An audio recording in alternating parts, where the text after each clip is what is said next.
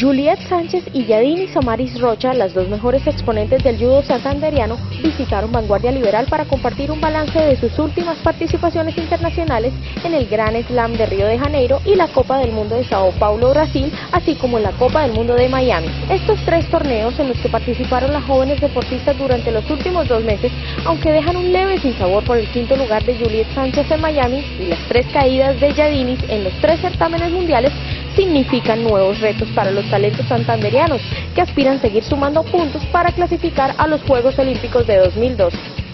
Nosotros estuvimos primero en Brasil, en Río de Janeiro, en un gran slam. Eh, el primer combate me tocó con una cubana.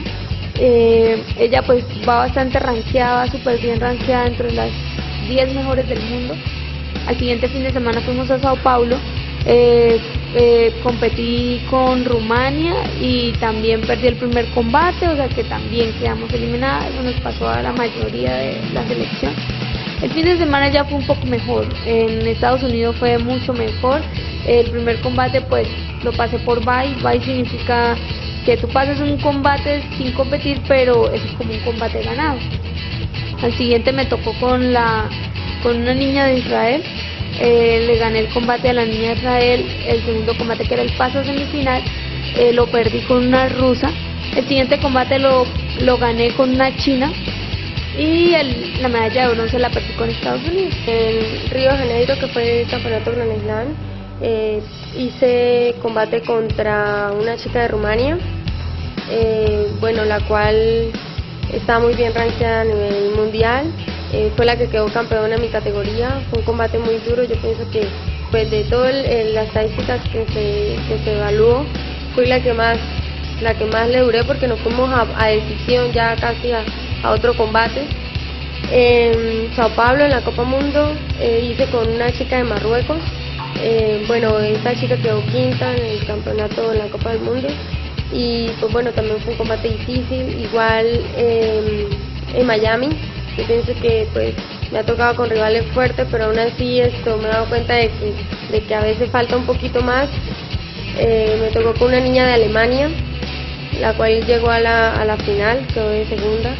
Además de sus ganas de superarse, estas mujeres también deben lidiar con la falta de apoyo para poder asistir a todas las competencias que representan la posibilidad de sumar puntos y por consiguiente el hecho de tener más cerca su boleto a Londres 2012.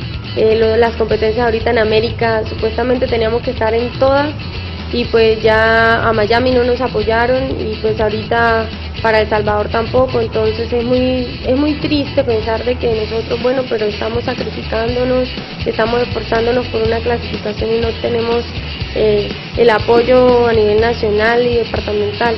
Todavía se puede clasificar hasta abril del otro año, se puede buscar la clasificación a, Londres, pero solamente lo hacemos estando en los eventos clasificatorios, si no vamos es muy difícil. Eh, viene un campeonato muy importante que da muchos puntos, que es el campeonato mundial, que es ahorita en, agosto en París. Es el combate, el campeonato que más puntajes da, entonces es de vital importancia que estemos allí. Bueno, este fin de semana, inclusive mañana viajamos para Venezuela a otra Copa del Mundo eh, y el próximo fin de semana, si Dios quiere, pues vamos a estar en El Salvador porque estamos esperando a ver si el Comité Olímpico pues eh, patrocina el viaje o si no pues eh, desertar de poder ir ya que no tenemos recursos para poder estar en El Salvador. La otra cuota santanderiana en la Copa del Mundo de Venezuela será Oscar Salazar, quien en los 100 kilos buscará obtener mayor roce internacional. En mi comunidad, compañeras, hay mucho nivel y pues fue mi primera Copa Mundo y quiero coger esta experiencia y, y darla toda allá.